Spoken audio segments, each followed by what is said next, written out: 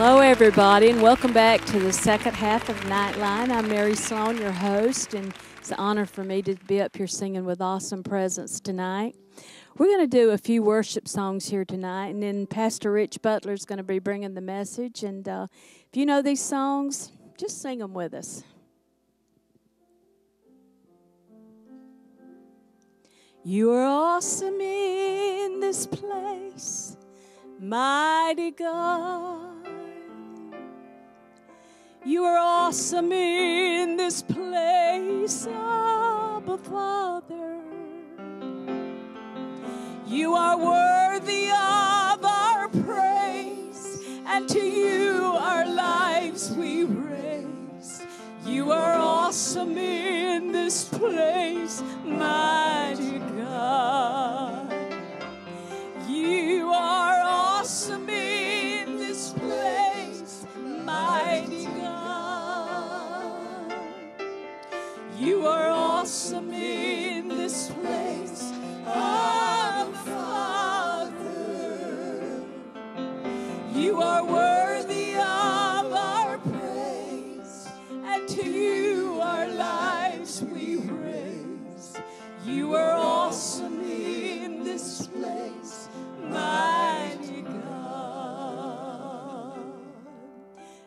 there's power in the name of Jesus. Power in the name of Jesus. And when I say his name, all things begin to change. And there's power in the name of the Lord.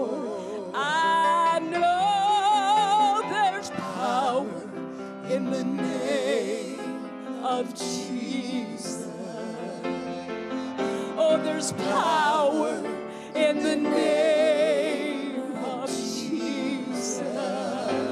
Oh, when I say his name, all things begin to change. And there's power in the name of the Lord. And I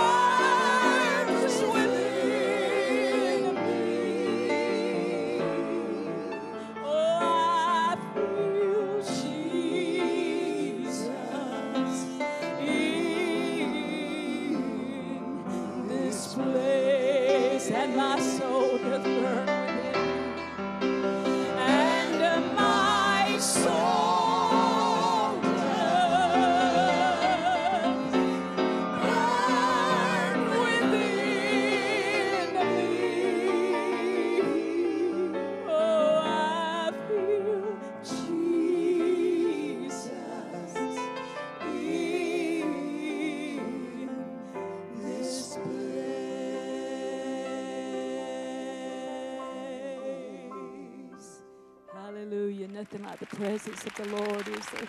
We're going to go to Pastor Rich Butler this time, and he's going to be bringing forth a great message. Pastor Rich.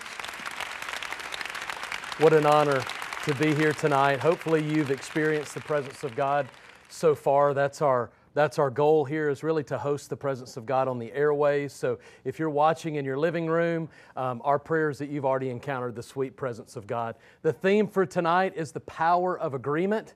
Um, honestly, for many years, I didn't understand the power of agreement. I heard the phrase a lot, but didn't really understand what rightly belonged to me as a believer. But that all changed about 15 years ago. My father in law asked me if I would attend a, a, gathering, a prayer gathering. He called it a solemn assembly.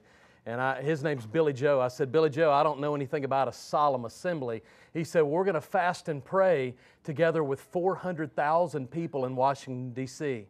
It was one of the largest gatherings of its kind, and it was called The Call. It was in the year 2000, and we descended upon the mall, and, and for 12 straight hours, we sought the face of God. We asked God to visit America. Um, we worshiped, and I heard this, this theme throughout the gathering that really just pierced my heart, and it, it was about the kingdom of God uh, people would take the platform and the stage and they would say, uh, Kingdom of heaven come, will of God be done. Now, I knew that was in the model prayer. That's what Jesus taught his disciples to pray, but I didn't really fully understand the gravity of that. In fact, for 12 hours, one after another, ministers were releasing the kingdom of God into America. And so, just like everything in the kingdom of God, it comes in seed form. So it came into my life in seed form. And so, what I did for the year following that gathering is I read everything I could in the Word of God about the kingdom of God. And to be real honest with you, I didn't know much. And one of the reasons why I think it was such a struggle for me is that I live in a democracy, and so do you. You live in a republic. We get to vote, there's a balance of power. And what I quickly realize is that in a kingdom, there is no balance of power. When the king speaks, it becomes binding, it's a law, there's weight on it. So I spent months reading Matthew, Mark, Luke, and John, and I was asking this one question Jesus, what is it with the kingdom of God? And I quickly realized in Matthew, when Jesus steps onto the scene and he gives his, his inaugural address, when he comes to start his ministry in Matthew 4 17. He said something that I've heard many times, but as I studied it, like a, a ton of bricks, it fell on me fresh and new. Jesus said, Repent, for the kingdom of heaven is at hand. That's how he started his ministry. The word repentance here doesn't mean uh, stop smoking, stop doing things that are bad. It doesn't even mean stop bad behavior. It means change the way that you think. The word that he uses there is a Greek word that literally means to change the way that you process information. So, what Jesus was saying is for thousands of years, you've had a mindset under the law. And it's not bad, it worked under that system. But now that the kingdom is here, that mindset won't work, won't work anymore. So, Jesus starts his ministry by giving the constitution of his kingdom. It's found in Matthew 5, 6, and 7. We call it the Sermon on the Mount. So he starts talking about this inside out, upside down kingdom where you actually die to live and you lose to gain. He was turning everything on its head. And he said, You will not get your mind around this unless you begin to change your paradigm. I'll just tell you this, friends your life always moves in the direction of your most powerful thought. So I started embracing this kingdom of God. I said, Lord, I want to think like the kingdom. I started seeing scriptures about me being a citizen of the kingdom. And in a, in a, few minutes, I'm going to tell you where this power of agreement comes in with this kingdom idea. And I quickly realized that I was more familiar with things in the earth realm than than I was in the heavenlies. And the Bible says that we're seated with Christ there. I want to tell you that whatever you seek first has the authority to order the rest of your life. Let me say that again. Whatever you seek first, whatever you prioritize in your life, you give that thing the authority and the power to order the rest of your life. That's why I believe in the constitution of the kingdom, Jesus gave a very familiar, famous passage to us. It's in Matthew 6 33. He says this, but seek first the kingdom of God and his righteousness or alignment with his government, is what that really means. And all these things you need will be added unto you. He's talking in the context of not worrying about what you would eat or what you would drink. In fact, he said, the pagans worry about those things. Your Father knows what you need even before you ask. And the way that you get those needs met is not striving, you seek first the kingdom. And when you seek first the kingdom, all the things you need will begin to align in your life. Let me tell you how this began to play out. I was in Haiti on a mission trip with a group of people. And the kingdom of God was so fresh in my heart and in my mind. And as I read the scriptures, the themes of the kingdom really jumped out to me we were sitting in this really like a hut. I think it held about 200 people, and that night maybe we had four or 500 packed in there. You know how it, it how it gets on the mission field. And it was hot, and, and we were going to preach the gospel. And I just sensed the Holy Spirit say, Release the kingdom into the room. So I felt prompted to invite everyone up that was deaf in either one ear or both ears. Now, I wasn't by myself, I was with a team of amazing people. And as they lined up, about 12 or 14 lined up in the front, um, I was prompted to go lay hands on them, but as I went to do that, I felt like the Lord said, No, you get them to ask. And as you ask, you just come into an agreement with them asking and you just release the kingdom of heaven. And I said, Okay, Lord. So it was awkward. I'm standing back, and these, these folks are standing in the front, and you, they were desperate for a touch from God, and they began to cry out to God, Heal me, God. I know it's your will to heal me. And as we came into an agreement, I just, in a whisper, said, Kingdom of heaven come, will of God be done. And in a moment, God opened every single one of their ears. He healed them all. It's like revival broke out. They were running around the room and shouting. And in that moment, I realized that the kingdom of God wasn't some theory it was real. So, when we talk about the power of agreement, I want to go back over this scripture that's really the scripture for the night. It's Matthew 18, 18 through 20. It's in red, which means it's coming from the mouth of Jesus. He says, Assuredly, I say to you, whatever you bind on earth will be bound in heaven, and whatever you loose on earth will be loosed in heaven. Again, I say to you that if two of you agree on earth concerning anything that they ask, it will be done for them by my Father in heaven. For where two or three are gathered together in my name, I am there in the midst of them.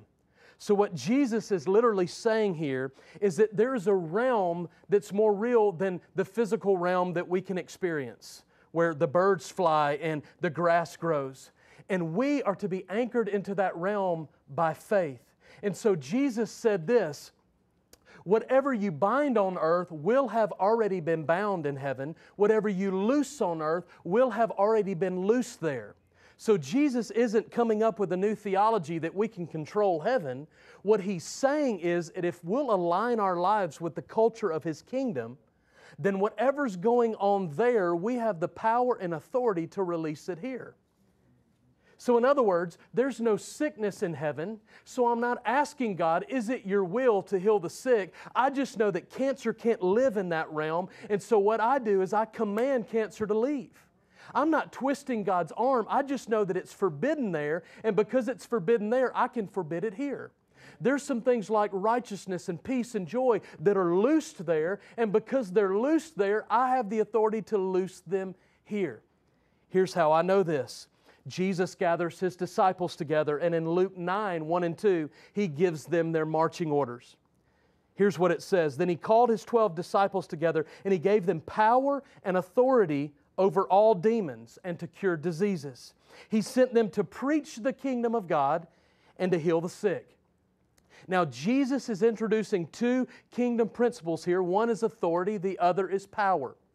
Authority is your right to rule, power is your ability to rule.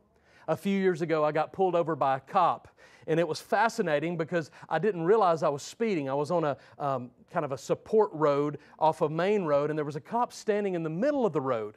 So I kind of just tried to go around him. I quickly saw his badge, and he pulled me over with his arm.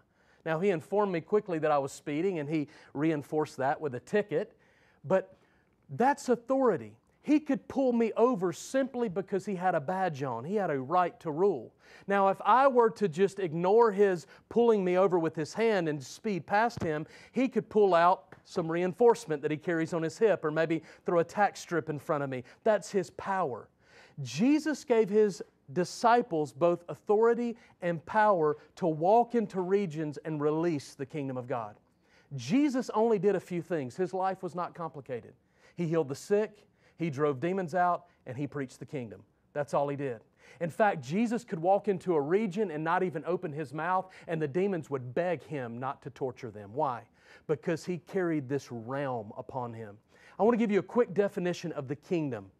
The kingdom is the governing influence of a king over a territory, impacting that territory with his purpose, his will, and his intentions. And I want to tell you this, my friends, that the kingdom of God goes wherever God wants it to go because it goes inside of you. It's not just the kingdom inside of you is enough, it's your knowledge and understanding of your authority and your power. I'm speaking to somebody tonight you've been walking with God for many years and, and maybe you're struggling with a sickness and you're somehow trying to figure out how God's using this to teach you a character lesson. Can I just tell you, the Holy Spirit is a much better teacher than type 2 diabetes or rheumatoid arthritis or cancer. Now, can God turn those things around for your good? Absolutely. We heard a song earlier about that. What the enemy means for evil, God can work it out for our good. But, friends, let me tell you, you have authority over those things. How do I know that? Because it's not permitted in heaven. And Jesus taught his disciples hey, when you pray, I want you to pray like this Let your kingdom come and your will be done on earth as it's being done in heaven. So I want you to look right now at me while I'm speaking. I want to encourage you and I want to stir the kingdom of God within you. You're not just barely getting along in life. If you know Jesus and He's Lord of your life, you are seated with Him in heavenly places. The kingdom of God is inside of you. So, right now, I just stir you to understand your authority and your power. I, I, charge you and challenge you to understand the Word of God. This is the constitution of the kingdom. In fact, in Revelation 19, John said when Jesus comes back, He's going to wage a righteous war. He's going to wear a robe that's dipped in blood. He's going to wear a white horse, and His name is going to be the Word of God. The King of the kingdom is anchored into His Word. And if you'll get to know this Word and you'll come into an agreement with this Word, you can have everything it says you can have. You can have divine health. You can have a breakthrough in your finances. You can have reconciliation in your relationships. You can walk in power on the earth. I'm just speaking to somebody tonight that has a child, a son or a daughter that's far from God. Can I just tell you that it's God's will that they come home? So instead of you just begging and saying, Oh God, please, please, please, why don't you just say, In Jesus' name, I command you to come home? That's God's will. And because it's God's will, you can come into an agreement and an alignment with that. Amen? Father, I pray that you would take these words tonight and that you would use it as an anchor in our heart. Father, we want to walk in courage and faith. Lord, we're citizens of your kingdom. We're not, uh, we're not earthbound. In fact, we're just temporarily walking through this place. Give us more of a reality of the kingdom of God in Jesus' name. We're going to now hear an awesome song by Awesome Presence.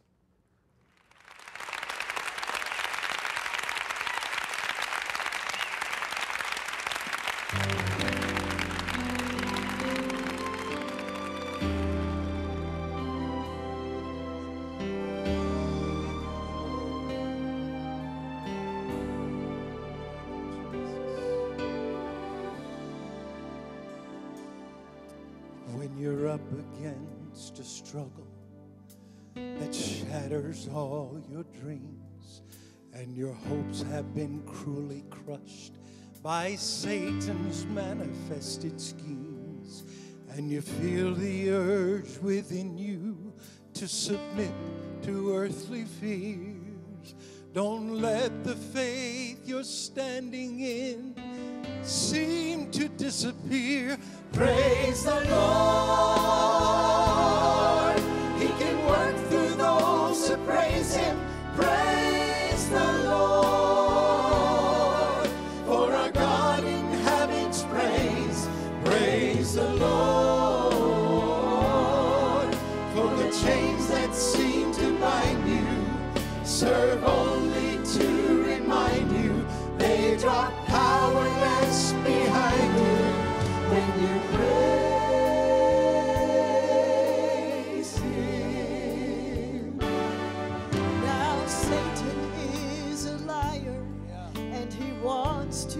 Us think that we are paupers when he knows himself we're children of the King. So lift up the mighty shield of faith, for the battle must be won. We know that Jesus Christ is risen.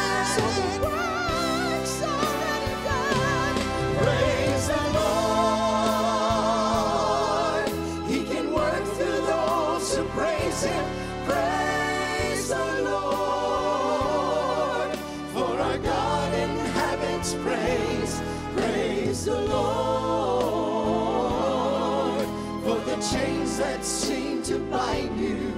Serve only to remind you. They drop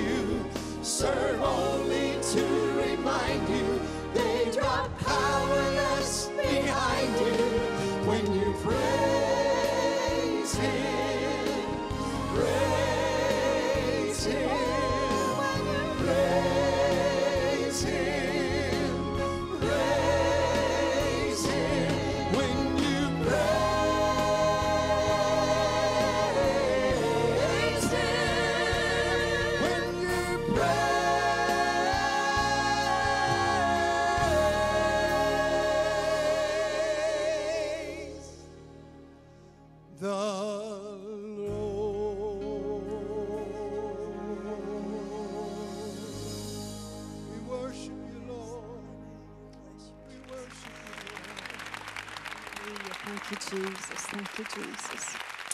Love that song when you praise Him. We've had a great night tonight. Thank you, Awesome Presence, for coming out. Thank you, Pastor Rich Butler, for coming out. Tony, my co host, and, and Coach Robert Hoefer. Um, Sheila, go to the piano and let's sing. Let's just go out with this song. Uh, Let the church say amen. You know, he's done an awesome work here tonight, hasn't he? And we're just agreeing with you tonight for these prayer requests. We're coming into the power of agreement with you. If anyone touches anything, you know, he will be in your midst and he will bring glory and he will bring healing to you tonight. Just two or more. Hallelujah. Hallelujah. Thank you, Jesus. Let the church say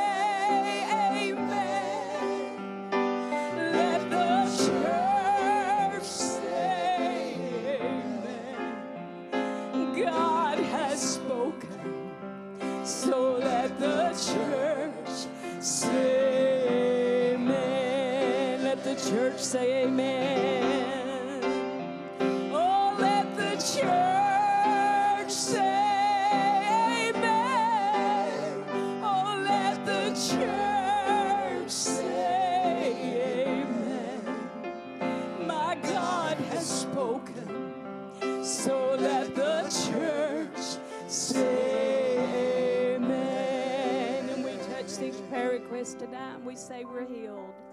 Let the church say I'm healed. Oh, let the church say I'm healed. My God has spoken. So let the church say amen. Let the church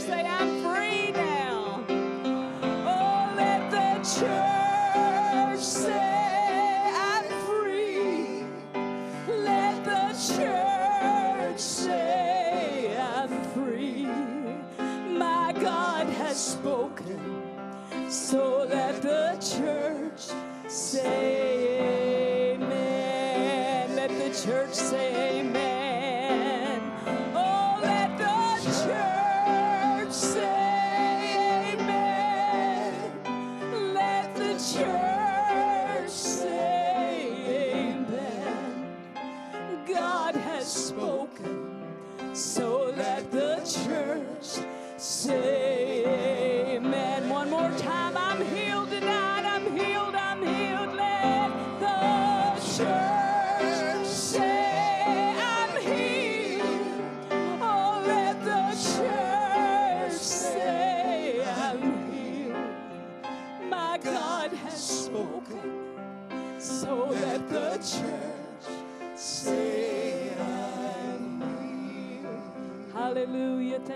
much for being with us tonight. We've felt your presence here tonight, oh God. Father, we thank you for those that have joined in with us tonight. And we just bless you tonight in the name of Jesus. Hallelujah, hallelujah. God has spoken. Let the church say,